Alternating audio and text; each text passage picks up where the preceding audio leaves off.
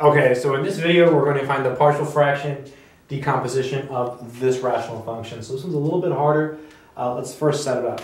So you start by writing this uh, as equal to, well, this is a linear factor, so it's a over x plus 1. Whenever it's linear, it's just a constant, like a, b, or c, or d. If it's a quadratic, then you have to have that that other term, the ax plus b term. So, but these are linear, so it's just a, b, c. Here we have x plus 2, so it's b over x plus 2. But it appears twice, so we have to write it twice. So plus c over x plus 2 squared. If there was a 3 here, we would have to do it one more time. It would be plus d over x plus 2 cubed. All right, good stuff. Now what we're going to do, uh, you have to use your imagination here because the board is kind of small, is we're going to multiply everything by this piece. So I'm going to take this whole thing and put it here and put it here. So if you take this and multiply it by this piece here, we're left with 2x. Now we're taking this bad boy and we're multiplying this by each of these guys. So when this gets multiplied by this, we're left with a. And let's see, well, one of the x plus 1s cancels, so, well, the only one cancels, so we're left with x plus 2 quantity squared. Then plus b, and we're taking this entire thing and it's being multiplied by this, by this whole thing here. So the x plus 2 cancels, so we're left with x plus 1, x plus 2. So x plus 1 x plus 2. And last and not least, uh, we're taking this and multiplying it by this. So both copies of x plus 2 cancel, so we're left with c times x plus 1.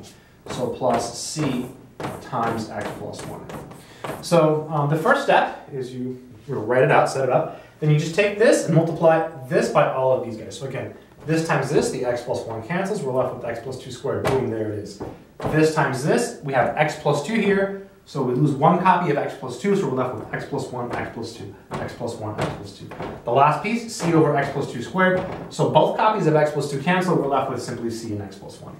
When you get to this point, you have to ask yourself, what can you plug in to make things go away, right? So, uh, well, obviously two numbers, right? Negative 1 will make this go away and this go away, and we'll be able to find a. And negative 2 will make this go away and this go away, and we'll be able to find c. So again, let's take a little slower. Let's just plug into things that make it go away. So let's do negative 2 first.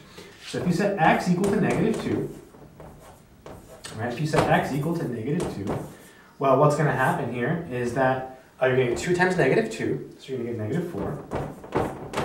This is 0, right, because 0 times a is 0, so this is 0, it's gone. This is 0, right, because 0 times anything is 0. And here we get negative 2 plus 1, so we get c, and then negative 2 plus 1 is negative 1. So we get negative 4 is equal to negative c.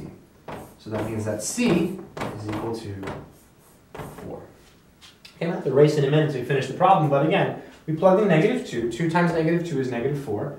0, 0, negative 2 plus 1 is negative 1. So you end up with negative c equals negative 4 divided by negative 1, so c is equal to 4. So I'm going to write it down up here, so c is equal to 4. It's one of our numbers. To find um, another letter, we're going to do the same thing now. So I'm going to erase this with my hand, which is terrible. And now we'll say, okay, what can we plug in uh, to make things go away? Well, we already used negative 2, now just negative 1. So when x is negative 1, we get 2 times negative 1, which is negative 2. Right, 2 times negative 1 is negative 2. Here we get negative 1 plus 2, that's 1. 1 squared is 1. So we get a times 1, right? Because negative 1 plus 2 is 1, 1 squared is 1, so we just get 1. 0, 0, right? Because 0, 0. Negative 1 plus 1 is 0, so we get 0 plus 0. So a is simply negative 2. Okay, so a is negative 2. So I'm to write that up here. A is negative 2. All right, so again, we plug in negative 1. So 2 times negative 1 is negative 2. Plug in negative 1 here. Negative 1 plus 2 is 1. 1 squared is 1. 0, 0. So, all right, I'm going to erase again. We have C, we have A. So we've exhausted all possibilities. We've plugged in everything we can to make things go away. We plugged in negative 2, and that gave us C. We plugged in negative 1, that gave us A. Uh, so there's nothing else we can plug in to make things go away. So now we just pick any number we like. Uh, we want to find B, so let's plug in 0. Why 0? Because 0 is nice. Look, if I plug in 0, I get 0 here. So we get A. A is negative 2. Then we get 0 plus 2 squared, so we get 2 squared. Right, so A is negative 2. 0 plus 2 is 2, so 2 squared. Plugging in 0 for x, right? And then here we're looking for b. So b. Plugging in 0, so 1 times 2 is 2. And then C, what's C? C is 4. Right, C is 4. And we're plugging in 0, so we get 1. So let me go over that again because that was a little confusing.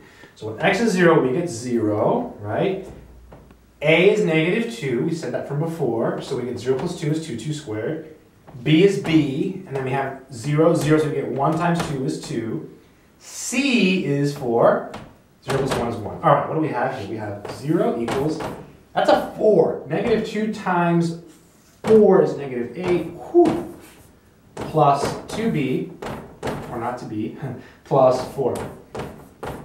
So we end up with negative 8 plus 4, which is negative 4. Oh, too much math. Let's see, so this is 0 equals, negative 8 plus 4 is negative 4. Plus, we got room 2b. Whoo, baby math. Add the 4. 4 equals 2b. So b is equal to 2. Beautiful stuff. Okay, so again, we plugged in things to make it go away. We found these guys, we plugged in 0, we found b. Now we have A, B, and C to finish, we plug everything back in. So erasing all of this, the final answer, let's see, A is negative 2, so negative 2 over x plus 1. B was 2, so 2 over x plus 2. Right, B is 2, so 2 over x plus 2. And then C was 4. So 4 over x plus 2 squared. So that was a, an easy medium difficulty uh, problem. Hope that made sense.